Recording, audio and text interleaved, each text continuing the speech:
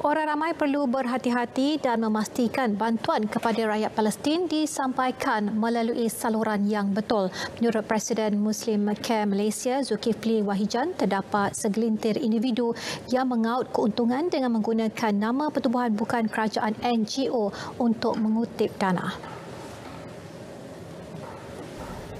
Jelasnya mereka menggunakan platform media sosial dan aplikasi WhatsApp untuk meraih simpati penderma jadi berhati-hatilah kepada orang-orang yang cuba untuk mengambil kesempatan di waktu yang kesusahan orang Gaza pada waktu ini. Ada juga yang sebelum ini menggunakan nama Muslimka ya, menggunakan WhatsApp palsu, menggunakan profil exco Muslimka yang yang ada dan mereka menggunakan uh, menirunya dan mereka memohon sumbangan daripada ramai.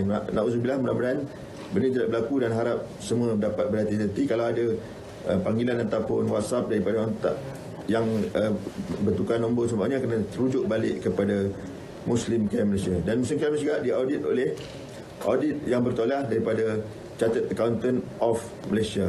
Sumbangkanlah sebanyak mampu sebanyak mana mampu kepada umat Islam di Gaza yang sedang tertindas yang sedang diserang hebat oleh tentera Yahudi lanatullah Muslim Care sebelum ini menggerakkan kempen kesedaran terhadap Palestin dengan menyasarkan kutipan dana sebanyak 5 juta ringgit bagi membantu perjuang umat Islam di negara berkenaan yang tertindas akibat kekejaman rejim Israel.